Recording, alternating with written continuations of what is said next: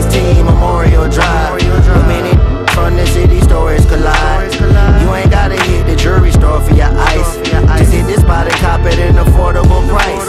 Dicky suits, chabos, and knockoff bags. At any given moment, can pop off bags. But if you on a budget, this is how you ball. You can get it all at the value mall. Yeah, headed to 10th grade. In the summer, we shop. My aunt got him on grill. Six fronts at the top. I had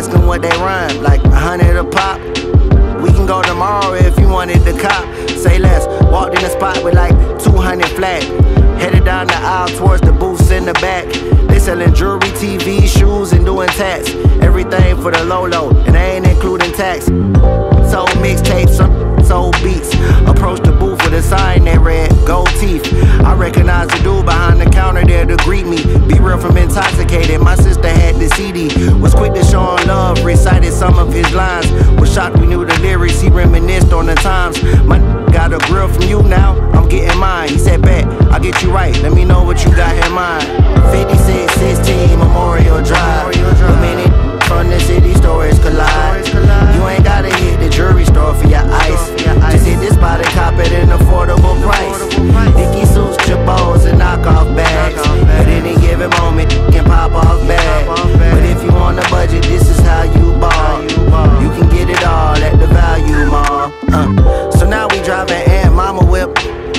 up on, hop out the politic.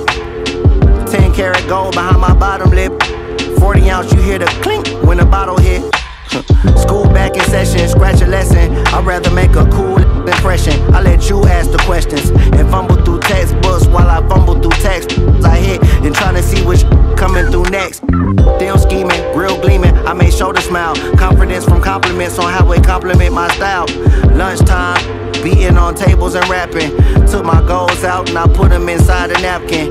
Big booty red bone tapped me and said, What's happening? She on my now. Before she was acting.